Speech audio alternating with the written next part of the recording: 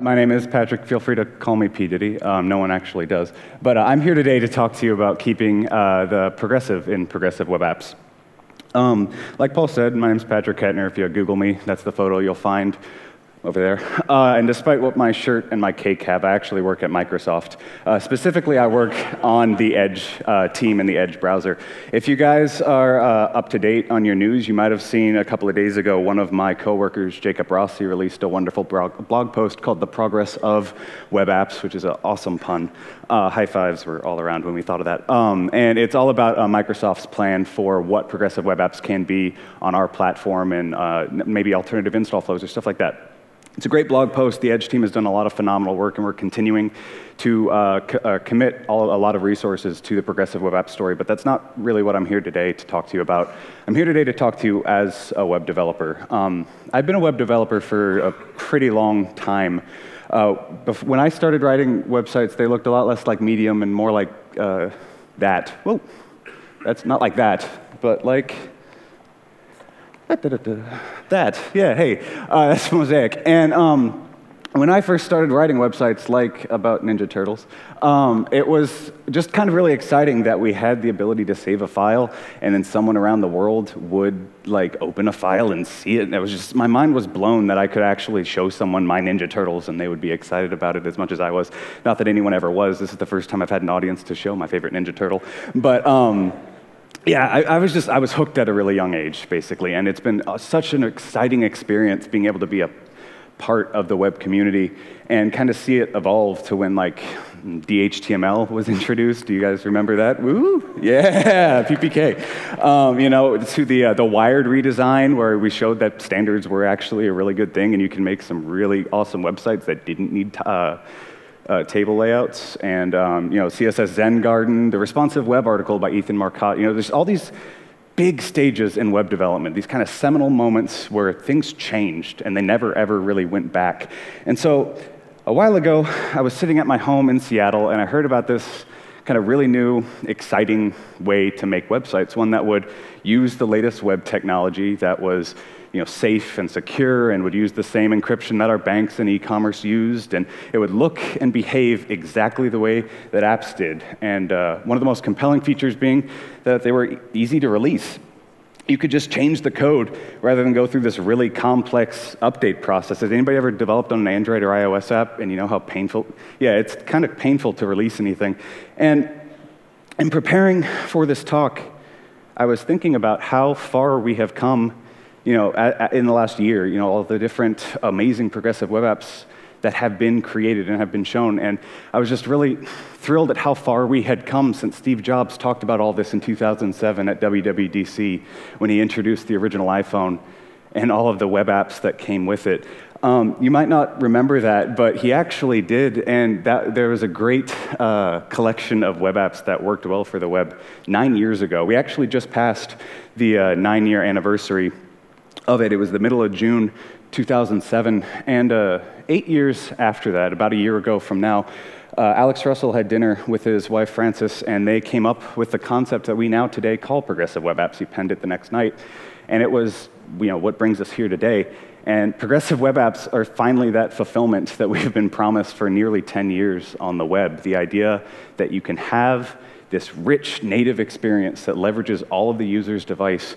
And we have gotten some really, really beautiful, wonderful examples of what that can really be like. Stuff like the Flipkart API, uh, the Flipkart redesign. Flipkart, if you're unaware, completely shut down their mobile website and then uh, a month or two before Alex's article and brought it back with an amazing reference implementation of what progressive web apps can be. Uh, the Washington Post had their uh, recent progressive web app demo that is incredibly fluid, incredibly slick. They have uh, 80 millisecond load times on uh, new articles. It's, it's, it's wonderful. Uh, one of probably the best reference implementations, airhorner.com, of a progressive web app. It works across I've yet to come into a device that it doesn't work wonderfully on, except if you don't support web audio, I guess. But um, that, you know, I was sitting there and thinking about how how it was amazing that we could finally do all these things on the web. And something, as excited as I was, something wasn't quite sitting with me right. And it wasn't the sites themselves. The teams that made them are wonderful, they do incredible work. But it was more of the way that, as a community, we're sort of focusing on progressive web apps. It wasn't the sites, it was, it was this. It was that we're sort of thinking of them as standalone applications that are created wholesale for the mobile web. And what's been presented isn't really the mobile web. I mean, this is a better example of the web. And I mean, that's the, again, Air Airhorner is a phenomenal app. Um, and, you know, it's, even then, like Airhorner, sorry, not Airhorner, uh, progressive web apps in general and how we've thought of them, including Airhorner, uh, isn't just like this. Uh, there's more than just this. I'm sure you guys are all aware that last year Google announced that mobile search had taken over desktop search for the first time in history. It's been well over a year now. And that's true. Mobile is the future in India, China, Africa, any emerging markets. Uh, mobile is where people are going first. But if you think about what that is saying, that it's just now surpassing desktop, that means that there is still a huge, non trivial part of the web that is still the desktop. People use computers even though we spend a lot of our time on mobile, there is still a lot of people, my parents included, never hardly touch their smartphones. They touch their desktops at work. And there's a lot of content and a lot of ways that we can introduce progressive web apps and the ideas behind them, the APIs behind them, to produce stuff other than just new, wonderful mobile experiences, but wonderful web experiences. Because progressive web apps are not just a radical new way to create sites, they are also, they are also a radical new way to update websites. You uh, as Booking.com showed, you can take pieces of the, what make up progressive web apps, the new APIs, and update your existing app. Have something that is a really compelling experience. And I'd like to go over a couple of different ways that I've, uh, myself and my team have come up with them recently. Um, first of all, the app manifest. Uh, if you, we've mentioned it a number of times, so I assume everyone was at least paying attention at some point when we talked about the uh, web app manifest. It is basically just a big uh, text corpus. It's a JSON file that has a whole lot of metadata about your website. Uh, stuff like the language, the direction of the text, a description for like search engines, an array of different icons that might be used, uh, where you want to start, orientation, a whole lot of stuff uh, like theme color, just a lot of different metadata about your website. You can also include related applications, ways uh, if you also, for those few that uh, raise their hands because they have helped to work on an iOS device, you can actually support uh, a user being able to automatically jump into a native application if that's what your company wants. You also have the ability to say prefer related applications. Hopefully, that's always false. Um, and the great thing about uh, the web app manifest is to add it to your web app today or your website even. All you have to do is this. It's a link rel tag. It's a simple line of HTML. You just plop it into your website. And the great thing about a link rel tag is that there's no feature detection needed. You just add it to any website today and it'll parse in Mosaic 2. It'll work everywhere. If your website doesn't support manifest, it's fine. It ignores it. It skips right over it. But you can add it and enhance everyone's experience right away. Um, something that kind of bothered me when I started looking at the manifest first, when I compared it to the websites I've worked at, is that most of that content that's in the manifest file is also in my HTML already. It's just a little bit different. And so I created a tool to try and help uh, people transition into using the manifest as soon as possible called Manifestation. It's available on NPM. And uh, it does a lot, basically what it does is it goes, uh, you give it a URL, and it parses the HTML of that page and generates the most comprehensive manifest file possible. Uh, an example of one of the things we do is for the language detection. It will go ahead and uh, load up the, some node modules. It will load the page in Cheerio, which is like a server-side jQuery. Uh, it will check for the lang attribute on the HTML. If that doesn't exist, we'll check for the XML language uh, attribute. If that doesn't exist, we'll check for the Dublin core language attribute. Anybody ever heard of that? No one has, but it exists, and so we parse it. Yeah, you have? Hooray! Librarians, yeah. Um, and uh, so if none of those exist, which is unfortunately a common experience, we actually fall back to Google's uh, compact language detection, where we'll load up the entire text of your page, throw it through the tool that is, powers uh, Google Translate's uh, language detection, and we'll try and get the uh, result out of that. It detects 140 uh, languages, uh, roughly, or 160 languages, and it's pretty reliable. Um, unless you're using a more obscure language, it almost certainly uh, results in something. It's only ever broken when I've tried to break it, uh, not on live websites. And finally, we grab all that stuff and return it. Uh, more complex check is like the uh, icons check. I try and get every icon anyone has ever referenced on their website ever. You'll notice that the amount of modules that I use barely fits onto a slide. And rather than go into the logic, I'll just go over what it covers, the favicon, favic, favicon? I've never said that out loud. Um, the, that ICO file, it'll download it, parse it, check if it's multiple uh, ICO files inside of that one, because that can be you know, multiple icons within the one file. It'll also download it automatically if you don't have one declared on the page from the server's root. It obviously gets the Apple Touch icons, all the different sizes available for that. It even downloads the MS application tile image, which I'm sure everyone has on their website, and, or even the config inside of that where, we, where you can declare a tile image. It checks every possible place you could have a tile and then some. Now, to make this even easier, I actually created a website, Web Manifest, however you would pronounce that. Um, and uh, you, if you go to it, you'll get this ugly website that I made in an hour. Uh, that is, all you do is you uh, insert your URL, and then you'll get a pop-up dialog that'll give you the web manifest file. You can add it to your site right now in as much time as it takes you to deploy a single line of HTML. You should do that today, and your journey to creating a progressive web app has already begun. Hooray. Uh, Web Manifest also has a couple of cool short URLs if you're interested in the spec. It is pretty neat. Uh, val slash validator will give you uh, Google's web, uh, web cache manifest validation tool if you want to modify what we give you. Uh, there's also slash spec, which will give you a hot link to the specification. Now, moving on, something called service workers. I'm not sure if anyone's ever heard of this because Google doesn't talk about it that much, but it is actually a really cool part of progressive web apps. Um, now, like I mentioned, I am a web developer at heart. I work for a browser, but most of what I do is from a web development perspective. And an example of that is I'm actually one of the lead maintainers for Modernizr. Uh, Modernizr.com had a redesign about a year ago now. And the biggest change between Modernizr 2 and 3 was us going completely modular. Uh, every single detect became its own module. We had roughly 262, I think we're up to almost 270 now, individual detects along with a couple of dozen uh, options modules. The idea basically is every single time you check off anything on that page, although you get a dependency, but that dependency might have subdependencies and subdependencies. It, goes on and on and on. And the, the problem is that a single module that you might be adding might be, uh, might be triggering dozens of requests on the network. And that really sucks. If you've ever traveled or used hotel Wi-Fi by chance, you can know that if a website is doing a whole lot of network activity, it's going to be a really, really crap experience. And so we used a service worker to try and speed that up. And our service worker implementation was super simple because we didn't need complex content generation or anything like that. We just needed a really simple cache. And so we have two different sections, our prefetch cache, where we uh, you know, list a whole lot of files that we want to uh, download in an array, that prefetch section. And then we open up the cache uh, when we load the page, and we add all those files to our cache. And then they're available instantaneously. These are files that every single user is going to have, stuff like our icon, our CSS, stuff that's shared across browser, sorry, across users. It's available everywhere.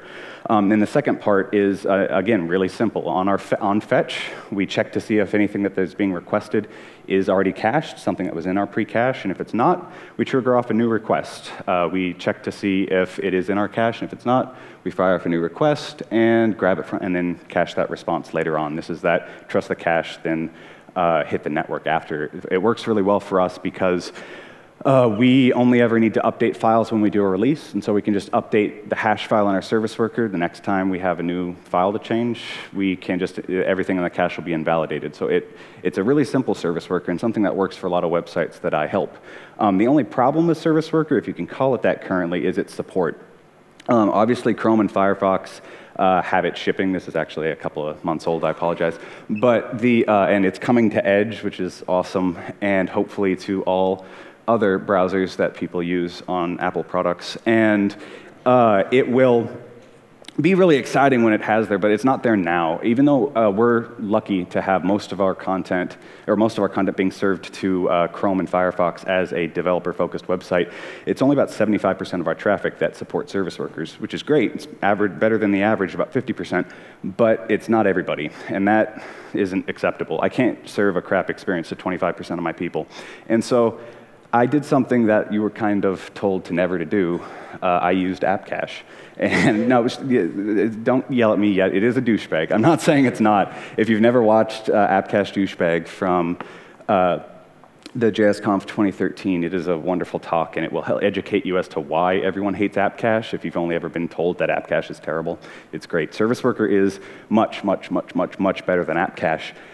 Uh, and app cache is going away on top of that. It's already deprecated in the HTML 5.1 specification, but it covers our use cases. And on top of that, it's available basically everywhere. Every single browser that you'll probably ever counter will do that. It's like 90%. There's almost nothing on Can I Use that's 90%. It's out there. And so if you keep in mind the problems with app cache and you're aware of all the problems you might hit, I think it's okay to use it. It's a douchebag, but it can be like that douchey friend you have that you have to have in high school until you can get rid of them. And so, in order to use it, uh, it's a really simple check. Obviously, we want to use Service Worker if it's available, and so we'll do a simple check for Service Worker in Navigator. If it's there, we register it. If that's not there, we check to see if application cache exists in Window. If that does, we add the app cache. Uh, if you've never used app cache, which seems pretty common, uh, if, uh, in order to add it to the page, it's an the attribute on the HTML element. It's that manifest attribute. You just pass it a URL to your app cache manifest file. And the problem with adding it via JavaScript is that it's a little bit complicated. That manifest attribute has to be there at page load time. You can't dynamically add that attribute and have the app cache take over. So in order to add it to the page, we had to do a little trickery. Uh, we create an iframe uh, that is hidden with a, uh, the source is a file that's just a really lightweight HTML page that just has that manifest. And then we append it to the page. So that file just looks like this. That's the entirety of the file. And we, um, uh, we register it you know, in that iframe container. And then it's available on the page instantaneously. It works really, really great. In fact, Oh, sorry, yeah. Actually, uh, this is what a manifest file looks like. Uh, the, basically, that prefetch section that we showed in our service worker cache, we're able to shove into the section for app cache manifest that stuff that we know for a fact every single user is going to want and going to need in order to use our website. And it's able to function. Now, we now have over 97% or 98% of our website works completely offline. Um, and it took our website from 20.7 seconds on non-service worker stuff I, uh, from hotel Wi-Fi down to 190 milliseconds on reload. App cache is a douchebag, but it can be useful if you know what you're doing. Just pay attention, know the problems, watch that video, and check it out. It, it can be useful for the short time until service workers are available everywhere. Uh, the next thing I'd like to talk about is web workers. Now, web workers are not a part of progressive web apps in the traditional sense, uh, but they do enable one of the most important parts, and that is keeping your applications fast. Um, now, web workers have been around for a really, really long time. They were added to WebKit back in 2008 um, which is insane that it's been almost that long. It was version two of Chrome when it looked like that. I mean, it's, it's, it's been around for a really, really long time. And for some reason, every time I talk about it, I generally get this reaction from people. It's just like, yeah, I've heard of web workers, but I have no idea what they do or why, why like anything about it. And um, so web workers, if you're unaware, solve a really basic problem on the web, and that is that it's single-threaded by default. Um, if you've ever tried to create like a scroll handler, or tried to create one of those really super cool like uh, parallax websites, and then all of a sudden everything gets terrible and slow and janky, like almost all of them, uh, you'll know what I'm talking about. It's because everything fights for CPU time. You can only be doing one operation at a time, and so if you ever try and do a lot of calculations at once, you get a really, really janky experience, and it ends up being a really terrible user experience. And so what web workers allow us to do is offload tasks to a background thread uh, we're basically able to take stuff that would be too expensive to run and still have 60 frames per second and be able to generate um, a much faster experience by having it go in the background. You lose access to the DOM, you lose access to most web APIs, but just about anything that's pure JavaScript and calculation that has to run can be done without a problem. So as a result, super expensive functions become really, really, really cheap. You can able to do some crazy stuff that you would never imagine possible on the web without completely getting like this spinning beach ball of death or a blue screen of death or any other kind of death that you might imagine. Um, and it's completely fine. You get 60 frames a second. It works great. Even even better, WebWorkers, like I said, 2008, it's green, baby. Like, it works everywhere. Just about anywhere where you can run JavaScript, uh, so basically not Opera Mini guaranteed, uh, you can run a web worker, and it, they work phenomenally well. Uh, one of my coworkers, Nolan Lawson, created Pokedex.org. It's a great example of a progressive web app. If you haven't checked it out before, I highly recommend it. And one of the really cool things he did here is use Virtual DOM. Virtual DOM is sort of a smaller version of React. It's the idea of being able to take a virtualized version of the DOM, and then when there's changes, you're able to do a diff of those changes to get the smallest number of JavaScript actions that have to happen to make that change. So what, the concept is what makes React super fast. It's coming to it's in Ember's Glimmer engine. It's coming to Angular 2. You have the ability to use it in Angular 2, rather. And the really interesting thing that Nolan did was that he used Virtual DOM inside of a web worker. He used it to do all that uh, expensive uh, DOM diffing. He did that inside of the web worker, then responded over the post message API back to the website as far as what changes need to be made. It would make the DOM changes and then wait to send back what changes need to be calculated again. As a result, he was able to run at 60 frames per second on a Galaxy Nexus. This is from 2011, a phone.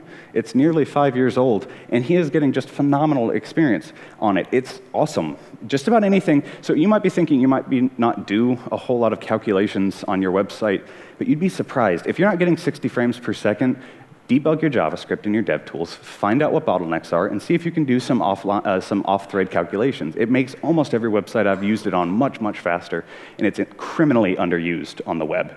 Uh, you can find out more about uh, Nolan's website on his, it's open source, and it's a great implementation. It's available uh, on GitHub. It's Nolan Lawson, Pokedex.org. Uh, the last thing I wanted to cover, because I'm running short on time, is IndexedDB.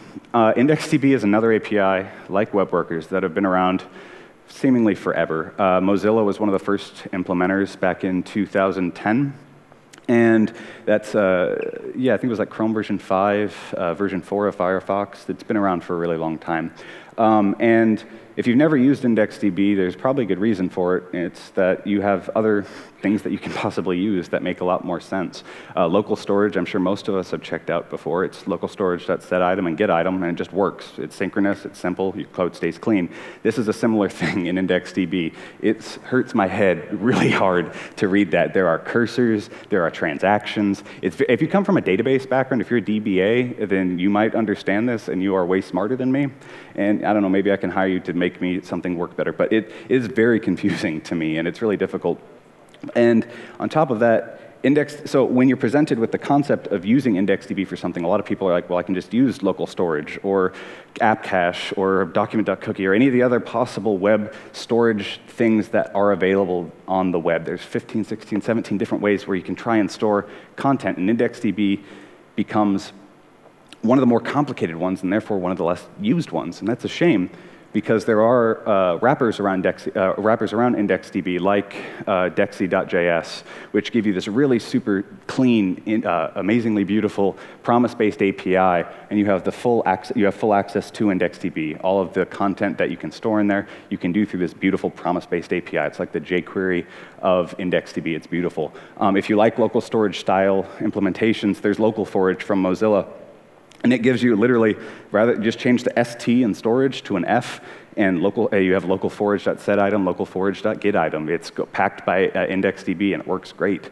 Uh, Nolan, the guy who created that Pokedex implementation, created a thing called PouchDB, and it's a full CouchDB implementation that is uh, works off of IndexedDB. And the great thing about all these things is that they can fall back to WebSQL, something that is supported in browsers even older then Firefox 4 is basically just about any browser. They'll fall back to WebSQL, they'll fall back to local storage, they'll fall back to in-memory. So all of these libraries have phenomenal browser support because they are able to run and because they take into account that we're not necessarily planning on these you know, cutting-edge browsers in the, uh, on the mobile space. They want to run as many places as possible. And if you choose one of these and you get and you start to plan around using IndexedDB, you get storage that is way higher than most of us even realize. You can store gigabytes of data in IndexedDB on the desktop with a, with a G, not an M, not anything else, gigabytes of data. I've uh, created demos of podcast apps where I'm able to offline sync dozens and dozens of 120, 200 megabyte episodes completely offline and have it work fine, and it works great. Now, that storage isn't guaranteed to stay around constantly. It's not, it can be deleted by the browser if the user runs low on space. There is that persistent storage API that Ben Kelly mentioned that uh, is coming from Google and hopefully all other browsers in the near future. But for stuff that can just help to be worked offline, that just is better if it's offline, media content, uh, even just static caching of your assets on browsers that don't support the full cache API, there's tons of stuff IndexedDB can be used for today, and it works great. Um, on top of that, if you've, ever, if you've never checked out web storage, there's this awesome thing called the br Browser Storage Abuser that's made by one of the uh, Google guys. And it's uh, available online, and you're able to see just how much storage you can, uh, you can shove into the browser, basically, and all the different types. This is uh, going, uh, the, it has file system API, the file API, IndexedDB, Web SQL, local storage, session storage, all this types of stuff. I'm requesting five gigabytes right here without a problem. I've gone up to 200 gigabytes on my laptop, and it's never once complained. It works great. Uh, the Quota API can explain more about that.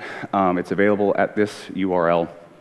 And yeah, I, I, just I can't say enough about why aren't you guys checking out IndexedDB? You can store so much phenomenal content. You can make your website scream if you store your assets offline, and you don't have to wait for the cache API. You don't have to wait for the new APIs in all browsers to be there. This is stuff that you can do on a slightly crappier API than what's available, but have it available to all your users today. You know, I guess the point of what I'm trying to get across is don't wait for a re-architecture to start using these features. You know, ch check out what fallbacks exist. Check out what you can do to create a similar experience, something that you want to be in the future today, because most of the time, those things already exist. You know, don't be afraid to use the new things in the web. If it's, only, if it's a feature that's only supported in one browser, don't wait for it to be everywhere. You know, do feature detections, fall back to things that if, they're, if you're able to, and have a great experience today. Make awesome websites and make your users you know, love the web as much as we do. You can do phenomenal things with the web if you start pushing the limits. I would love to see more and more experiments that bring app-like experiences to, to stuff that is you know, years and years old. Steve Jobs said we could do it, so let's show him that we were right about the web. Uh, now, like I said, my name is Patrick Kettner. That's my handle pretty much everywhere on the web. Uh, that's also my email at Microsoft. I'd love to hear about anything other than Internet Explorer. Feel free to contact me. It's a great, great time. The Edge team is awesome. I'd love to hear you guys' feedback or questions or complaints about anything. Um, thank you very much, and I'll be in the code lab later if you guys want to talk about progressive enhancement. And thanks for having me.